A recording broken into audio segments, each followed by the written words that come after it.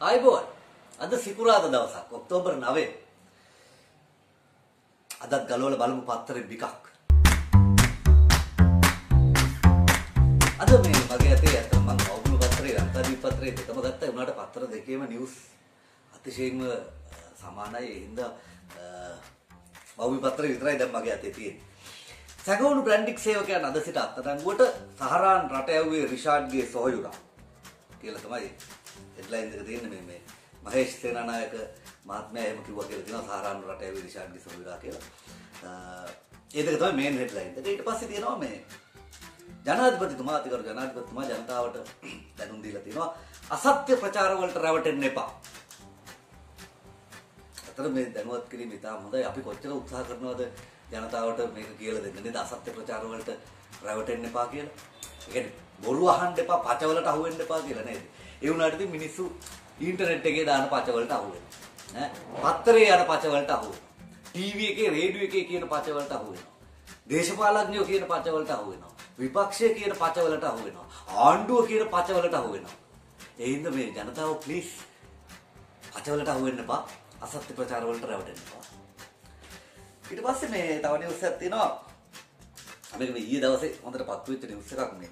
මැති සභයට ගංජා පොත ආවේ කොහොමද කියලා මේ බුද්ධික පතිරණ මන්ත්‍රීවරයා මේ පාර්ලිමේන්තුවේ නිලධාරියෙක් ළඟට පිච්ච මේ ත්‍රිලෝක්‍ය විජය කියන පොතේ පිටපතක් අරගෙන ඇවිල්ලා මේ මේක මේ පිදුමේ ලියලා තියෙන ආනන්දය ලබන්න කියලා. ඒ කියන්නේ මොකද්ද මේ ගංජා ගහන්න කියලාද කියන්නේ? එතකොට මේ පාර්ලිමේන්තු නිලධාරීන්ට කියන්නේ ගංජා ගහන්න කියලාද? ඊළඟට ගංජා ගහන්න ඕනේ පාර්ලිමේන්තුවේ මැති ඇමතිවරුන් දරි මේ ගාලා හරියට කලබල වෙලා තිබුණා මේ බුද්ධික පතිරණ මන්ත්‍රීවරයා මේ කවන්නේ ඉතින්. ඒ වගේ කලබල වෙනවා නම් කලබල වෙන්න කොච්චර ඒවා තියෙනවද? දැන් සමහර මිනිස්සු පාර්ලිමේන්තුවට ආවේ කොහොමද? සමහර හොරු මිනිමරු කුඩු විකුණකෝ මංකොල්ල කාර්යවල එන්නේ පාර්ලිමේන්තුවේ සීට්වල ඉඳගෙන ඉන්නේ කොහොමද? නේද? ඒව ගැනත් ඉතින් මේ ඒව ගැන හැබැයි වැඩි කලබල වෙන්න යන්න එපා. ඕවා ප්‍රශ්න වෙයි ඊට පස්සේ තව නිවුස් එකක් තියෙනවා මේ.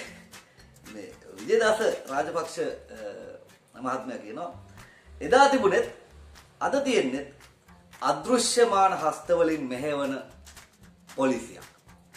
රියාජ් බදියුදීන් ගැන අධිකරණය හා නීතිපති ගත යුතු තීරණ පොලිසිය අරන් කියලා විජේදාස රාජපක්ෂ මහත්මයා කියනවා. ඇත්ත එදා තිබුණෙත් අද තියෙන්නේ අදෘශ්‍යමාන හස්තවලින් මෙහෙවන පොලිසියක් තමයි නේද? ඈ? දැන් මෙහෙම මෙහෙම මේ කියන විජේදාස රාජපක්ෂ මහත්තයා නොහිටපු ආණ්ඩුවකුත් බට මතක නෑ අප්පා. ඔව් අදන්න තිබුණේ නැද්ද?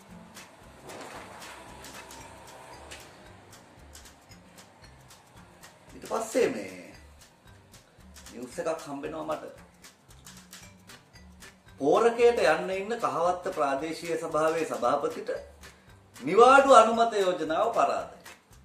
ඒ කියන්නේ එක අධිකරණයකින් වැඩිකරුවෙක් වෙලා මේ පෝරකයට යන්න ඉන්නේ මරණ දණ්ඩනය නියමව සිටින කහවත්ත ප්‍රාදේශීය සභාවේ සභාපති වජිර දර්ශනද සිල්වා මහතා තවදුරටත් ධුරේ රැඳී සිටීමට හැකිවන පරිදි නිවාඩු අනුමත කිරීමේ යෝජනාව ඊයේ වැඩි ඡන්දයෙන් පරාජයට පත් වුණා. කියන එක අධිකරණයකින් වැඩිකරු වෙලා මරණ දඬුවම නියම වෙලා ඉන්න ගමන් අ, ඇපෑලක් දාලා ඒ නඩුව විසඳිලා ඉවර වෙනකන් ප්‍රාදේශීය සභාවේ රැස්වීමට සහභාගී වෙන්න විදියක් නැහැ නේද? ඉතින් මහත්මයාට අතනඟු ඉන්න ගමන් සභාපතිකම සභාපති පුටුව පරිස්සම් කරලා තියාගන්න මේ නිවාඩු දාලා අත්අඩංගුවේ ඉන්නේ වගේ සීන් එකක් දාගන්න try කරලා තියෙනවා කොහොම හරි ඒකට ප්‍රාදේශීය සභාවේ අනුමැතිය හම්බෙලා නැහැ.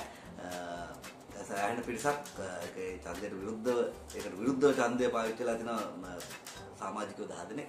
ඉතින් මම කියන්නේ මේ මම මේ කතා කරන්න යන්නේ මේ ඒ මහත්තයා ගැන නෙවෙයි වජිර දර්ශන සිල්වා මහත්තයා ගැන නෙවෙයි කාට වුණත් ඉතින් මේ රටට ලැජ්ජයි නේද මේ වගේ නිවුස් යනකොට. ඒ කියන්නේ පෝරකයට යන්න ඉන්න කා- ප්‍රාදේශීය සභාවේ සභාපති වගේ නිවුස් යන්න ඕනේ නැහැ කවුරු හරි කෙනෙක් මේ වගේ අ, අජපල් වැරද්දක් කරලා හෝ නොකර මේ වගේ චෝදනාවකට පැටලිලා මෙහෙම අධිකරණ තීන්දුවක් එහෙම එනකොට පොඩ්ඩක් සදාචාරයක් තියෙන්න ඕනේ අර තනතුරේ ගෞරවය ගැනවත් හිතලා తాවකාලිකව හරි ඒ තනතුරෙන් ඉල්ලාස් වෙලා තමන්ගේ නඩුවට ඇපිල්ලක් ඇපිල්ලක් දානවා නම් ඇපිල්ල එක දාලා ආපහු තමන්ගේ නම සුද්ධ කරගෙන රයිට් මං ආපහු ආවා කියලා එන්න නේද?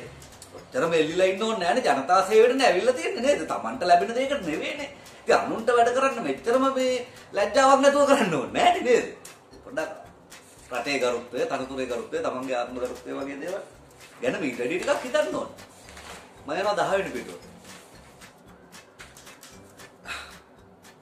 අද මේ 10 වෙනි පිටුවේ තියෙනවා මේ පාර්ලිමේන්තුවේ වෙච්ච දේවල් ටිකක් ගැන එක ආටිකල් එකක් මේක මේ WK ප්‍රසාද් මංජු කියන මහත්මයා ලියන්නේ ඕඩර් ප්ලීස් කියන ආටිකල් එක.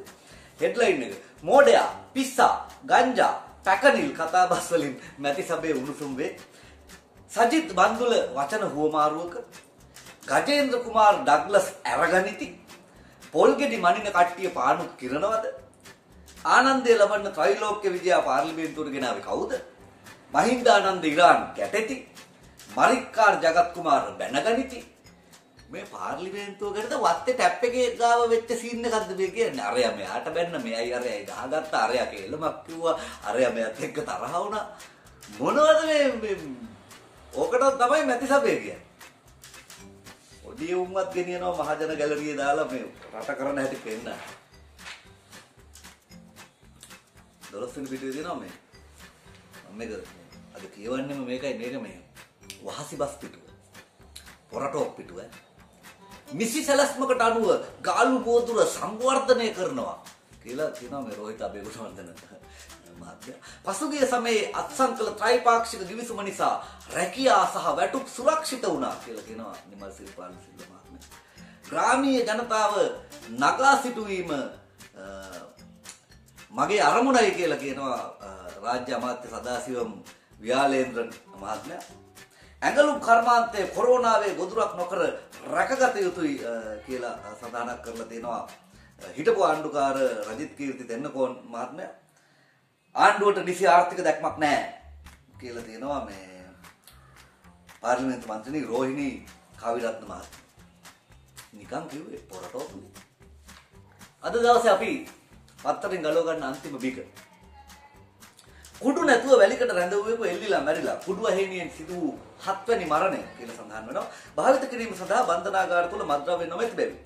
ඊයේ පෙරවරුවේ වැලිකට බන්ධනාගාරගත රැඳවුවෙකු ගෙල වැළලාගෙන මියගොස් ඇති බවත්.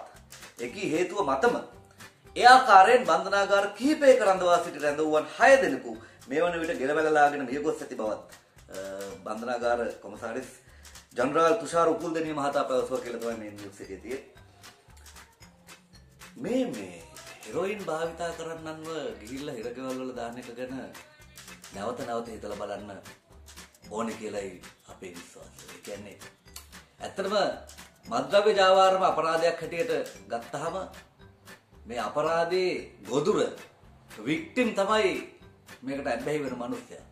අපි මේ උඩ දාගෙන දඩුවම් කරමින් ඉන්නේ පොලිසියෙන් ගගා අරගෙන ගිහිල්ලා ඉර කූඩුවල මාස ගණන් තියලා ඒ මිනිසුන්ට හම්බෙන්න ඕන නිසි අවධානය ඇඩික් කෙනෙකුට හම්බෙන්න ඕන නිසි අවධානය ප්‍රතිකාරය සහයෝගය දෙන්නේ නැතුව හිරගෙවල් වල ලග්ගලා තියලා මේ මිනිස්සු සියදෙවි නසා ගන්න තැනට වැඩේ හැදුනම ඒකත් හරි ආඩම්බරෙන් අපි කියන්නේ දැක්කනේ හිරගෙදර කුඩු නැහැ කුඩු එල්ලිලා මැරනවා හිරගෙවල් වල කියලා ඇත්තට මේ මිනිස්සු යම් අපරාධයක ගොදුරක් ගොදුරට දඩුවම් කරන එක වීරකමක් නෙවෙයි. අපරාධය කරන මිනිස්සු එළියේ ඉන්නවා. ඉන්නවා කියලා දන්නවා. ඉන්නවා කියලා පේනවා. පේන්නේ නැහැ වගේ ඉන්නවා. හෙටත් එන්නම් පත්තරෙන් ටිකක් අරන්.